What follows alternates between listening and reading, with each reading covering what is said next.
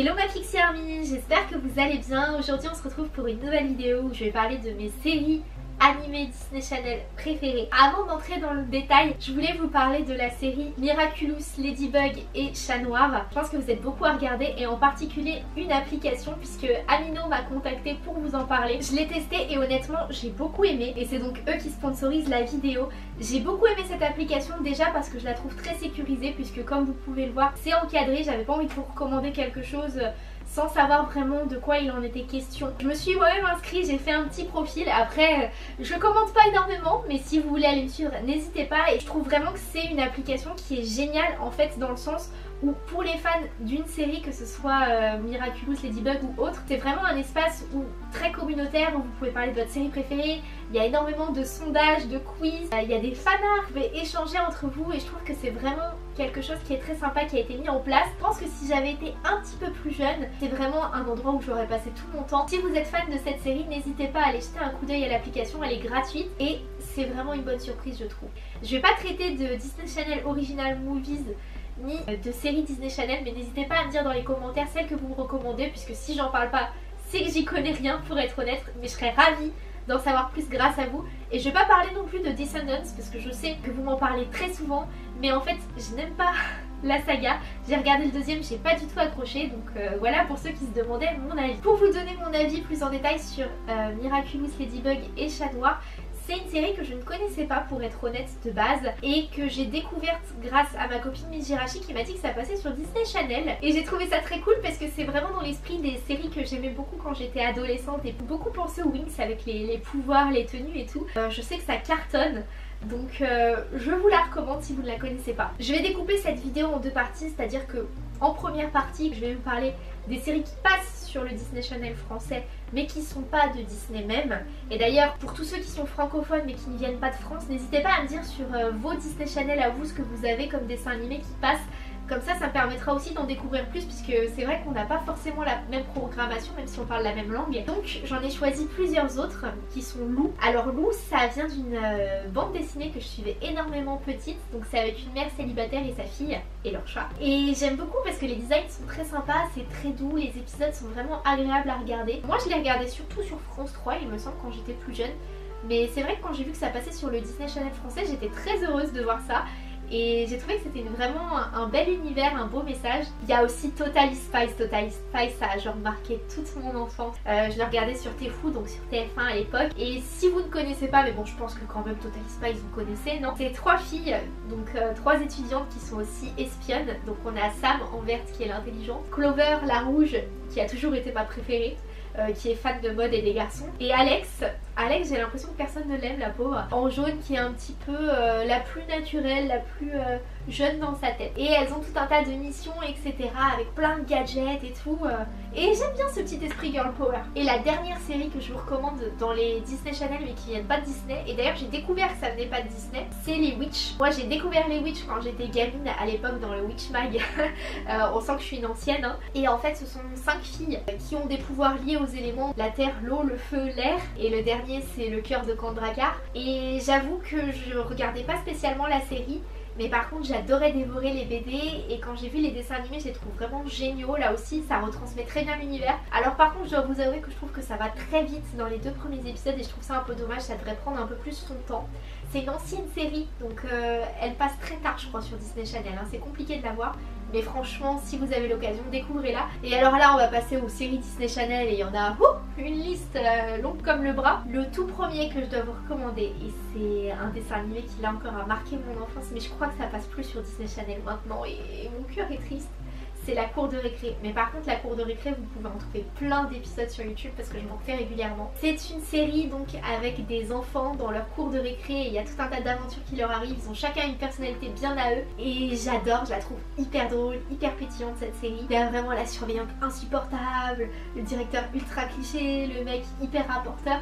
Et franchement, que vous soyez à l'école ou que vous l'ayez quitté, ça va vous rappeler plein de souvenirs. Et franchement, elle est géniale cette série. Ma préférée, ma série préférée de tous les temps, c'est fini assez ferme. D'ailleurs, on peut un peu dire que mon Disney Boom de Mérida, ça peut aussi être Péril Ornithorynque, hein, vu la couleur, mais j'aime tellement cette série. J'étais surprise de voir qu'il y avait beaucoup de personnes dans la Pixie Army qui connaissaient pas forcément Phineas et Ferb et je pense vraiment que si vous avez l'occasion, il faut vraiment la découvrir. J'ai même tous les DVD avec tous les épisodes dedans pour vous dire. Donc en fait, c'est deux petits garçons qui ont une imagination débordante et qui sont en plein été, qui savent pas trop quoi faire de leur journée. Et donc du coup, bah, ils ont tout le temps des idées hyper loufoques et ils font n'importe quoi, ils font des expériences scientifiques et tout. Et donc ils ont une grande sœur qui veut absolument les griller pour les dénoncer à leur mère qui s'appelle Candice et j'aime trop. Et surtout, à côté de ça, ils ont donc un ornithorynque qui est leur animal de compagnie, qui a pas de bonnet de Noël normalement. Et en fait, euh, cet ornithorynque est agent secret. Et il combat un personnage qui s'appelle le docteur Doofenshmirtz. Et j'aime tellement ce personnage. Donc c'est un méchant avec un accent allemand et il est complètement déchanté, il invente toujours des machines qui se terminent par inator et qui ne servent à rien et il termine toujours ses phrases par Sois maudit, péri dans le avec cette, cette intonation absolument géniale. Bref, c'est une série que je kiffe, que je kiffe, que je kiffe et je vous recommande ça à 100%. Les créateurs de Phineas et Ferb ont également fait une autre série qui s'appelle La loi de Milo Murphy. Je suis tombée sur quelques épisodes, j'avoue que j'ai beaucoup moins accroché, c'est beaucoup moins déjanté, c'est plus mature et tout, c'est moins moins excentrique on va dire mais c'est sympa aussi. Et je voulais aussi vous demander votre avis la Pixie Army. J'ai l'impression qu'il y a énormément de gens qui adorent souvenir de Gravity Falls. Et j'ai l'impression que c'est une série qu'il faut avoir suivi depuis le départ pour la comprendre puisqu'à chaque fois que ça passe à la télé moi je comprends rien. je vous dis la vérité. Et du coup je me demandais si vous me la conseilleriez ou pas. Donc euh, n'hésitez pas à me dire ça en commentaire si vous l'avez déjà vu ou pas, ou ce que vous en pensez, savoir si ça vaut le coup. Parce que j'ai l'impression qu'il y a énormément de fans de cette série, mais comme je l'ai jamais vraiment suivi, bah je autre série dont il faut que je vous parle et c'est une série qui est plutôt récente et c'est un énorme coup de cœur, c'est la série Réponse. Alors c'est une série qui a fait un peu polémique à sa sortie puisque Réponse récupère ses longs cheveux blonds. Et comparé au film c'est sûr que c'est pas très logique. Mais ce que j'aime dans cette série c'est qu'en fait elle est dans la continuité du film Réponse puisque nous découvrons Réponse faire ses premiers pas de princesse à Corona, donc avec ses parents, avec Finn et elle a également une nouvelle amie, une brune qui ressemble à Mère Gothel mais je connais pas son nom. Et j'aime bien déjà parce que je trouve que le design est génial. On retrouve vraiment l'esprit de réponse et j'aime vraiment beaucoup beaucoup cette série. J'ai également vu le, moyen métrage qu'ils ont sorti pour Noël et je le trouvais très sympa parce que ça remettait un petit peu en question euh, bah, le statut de reine de réponse, comment est-ce qu'elle gérait pour ses parents. Il y a une petite dose d'humour et franchement je trouve que cette série est vraiment bien. De toute façon, de façon générale, je pense que quand une série est adaptée d'un long métrage et que c'est dans la continuité, c'est vraiment que c'est génial. J'ai aussi vu euh, la bande à Picsou et en fait c'est grâce à cette série que j'ai eu l'idée de cette vidéo puisque j'ai regardé le premier épisode euh, sur l'Atlantide et je l'ai trouvé assez sympa. Je vous avoue que même si j'ai fait partie de la génération qui connaissait DuckTales, j'ai jamais vraiment regardé les épisodes. Donc du coup j'ai pas ce recul là. Le truc qui m'a un petit peu choqué pour être très honnête avec vous, c'est les voix. J'ai beaucoup de mal avec les voix de Riri, Fifi et Loulou, mais par contre je trouve ça logique puisque j'ai l'impression qu'ils sont adolescents dans la série donc c'est logique qu'ils n'avaient pas gardé leur voix de bébé. Et j'aime bien parce qu'il y a toute une dimension un peu euh, aventure, voyage, etc. Et j'ai l'impression qu'on aborde un peu plus en profondeur euh, l'histoire euh, de Picsou. Je lisais un petit peu les Picsou magazines quand j'étais gamine et j'adorais le personnage du Mystique. Donc j'ai pas vu les autres épisodes, mais je vais jeter un oeil, je pense, quand ils sortiront. parce que je pense que ça va être très sympa et j'aime beaucoup la personnalité de Picsou. C'est une série un petit peu plus enfantine, donc destinée à un public un petit peu plus jeune, mais dans le genre j'aime aussi énormément, vraiment j'adore cette série, La Garde du Royaume. Mon chéri la regarde plus que moi d'ailleurs pour être honnête. c'est sur Kayon, qui est donc le second fils de Simba, et euh, qui a la Garde du Royaume, donc qui protège la Terre des Lions, et, il fait face à de nombreux ennemis. On retrouve certains personnages de la bande originale euh, du Royaume, donc on a notamment euh, Timon Pumba, Kiara, on a Rafiki, Simba, Nala, et j'aime beaucoup cette série, je la trouve très sympa. Ce que j'aime aussi beaucoup, c'est qu'il y a pas mal de chansons. Et moi, j'aime bien les chansons. Après, j'aime pas quand il y en a trop, mais je trouve que c'est sympa dans une série comme ça.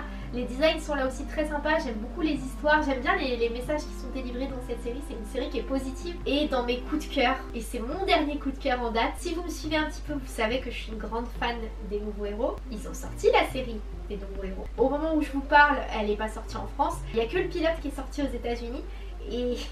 Et, j'avoue que j'ai un petit peu eu la curiosité d'aller voir ce que ça donnait et honnêtement j'ai eu un énorme coup de cœur. On parle un petit peu de Tadashi, là encore, les designs sont très sympas. J'ai pas complètement accroché parce que je trouve que c'est un petit peu carré, mais je pense que c'est une question d'habitude aussi. Le design des nouveaux héros, le, long métrage est très futuriste et tout, donc là il faut le temps de s'habituer à la 2D et tout. Mais j'aime beaucoup le fait que euh, bah, ce soit vraiment dans la continuité, qu'il y ait le retour des personnages secondaires, je pense notamment à Moshi ou au mec du tout début du film qu'on voit sur les paris, on sent que Fred prend une importance dans la série, alors que dans le film, bah il est important mais bah il y a un peu Hiro et Baymax qui lui volent la vedette pour être honnête. Et je suis vraiment très curieuse de voir ce que vont donner la suite des épisodes.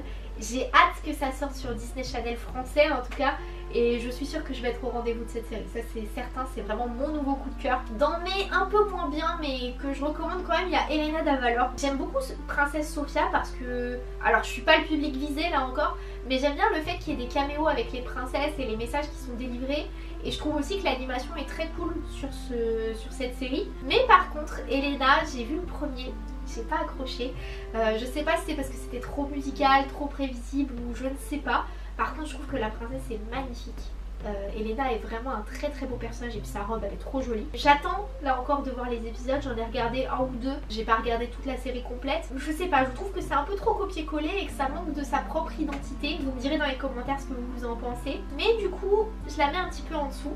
Il y a la loi de Milo et Murphy dont je vous parlais également. Et le dernier moins bien, mais à voir quand même, c'est la série Hotel Transylvania qui là encore n'est pas sortie en France. J'étais très étonnée quand euh, j'avais appris que ça allait apparaître sur Disney Channel puisque bah, c'est Sony, Hotel Transylvania, c'est pas Disney. Quand j'ai cherché le premier épisode des nouveaux héros en anglais, j'ai également cherché celui d'Hotel Transylvania qui n'est pas sorti chez nous. Et donc je suis tombée sur... Euh, là par contre il y avait la série complète il me semble puisque c'est sorti l'été dernier aux états unis Et j'ai pas du tout accroché. Alors il faut savoir que j'aime, j'aime beaucoup l'univers d'Hotel Transylvanie. Et dans les deux premiers épisodes que j'ai vus déjà le père était absent alors que c'est quand même un personnage très important de la saga, très fort. Je pense que le fait qu'il soit pas là manque beaucoup et j'ai beaucoup de mal à comprendre pourquoi est-ce qu'ils ont choisi cette temporalité là pour faire la série. Je pense que ça aurait été beaucoup plus intéressant qu'on ait Mavis avec son chéri humain. Il y a un personnage du coup qui est un peu une, euh, une sorte de gouvernante pour Mavis qui ressemble à son père en fait en beaucoup moins fun. Et après je sais pas si c'est un problème de langue ou quoi. Mais ouais, j'ai vraiment pas accroché. Les designs sont sympas par contre, là encore. Mais j'ai pas du tout, du tout, du tout, du tout été convaincue. Voilà ma Pixie Army, c'est tout pour cette vidéo de mes séries animées Disney Channel préférées. Pourquoi pas faire une seconde vidéo avec euh, les Disney Channel Original Movie, les séries et films? N'hésitez pas à me dire dans les commentaires ceux que vous me recommandez. J'aimerais beaucoup découvrir ceux que vous me conseillez. Comme ça, je ferai ma petite sélection, j'irai voir ça et je vous ferai une suite. Je pense notamment à la série Phénomène Raven, enfin le retour de Raven que j'ai beaucoup envie de voir. N'hésitez pas également à me dire vous les séries que vous aimez animées, celles que vous regardez, celles que vous aimez pas. Si vous n'êtes pas d'accord avec moi, n'hésitez pas à me le dire aussi. C'est toujours génial pour moi de, pouvoir échanger avec vous là-dessus. Merci d'avoir regardé cette vidéo. N'hésitez pas à la liker si vous voulez une suite. N'oubliez pas de vous abonner, ça me fait toujours plaisir. Et en attendant la prochaine vidéo, ma Pixie prenez soin de vous. Je vous aime. Bisous, bisous, bisous.